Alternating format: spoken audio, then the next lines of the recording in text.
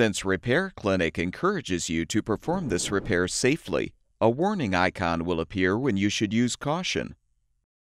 Before you replace the right rear surface burner base on your gas range, be sure to unplug the power cord or shut off the power supply.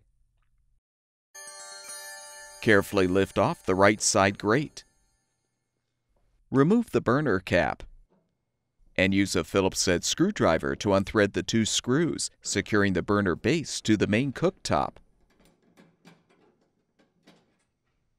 Lift up the base and depress the tab to release the spark electrode wire.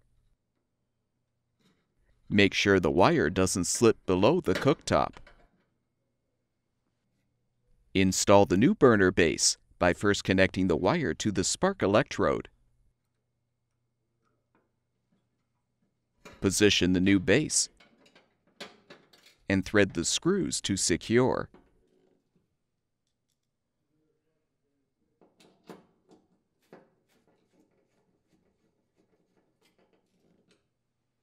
Align the burner cap. Replace the grate by positioning it on the support and gently lowering it. Plug the power cord back in or restore the power supply, and the gas range should be ready for use.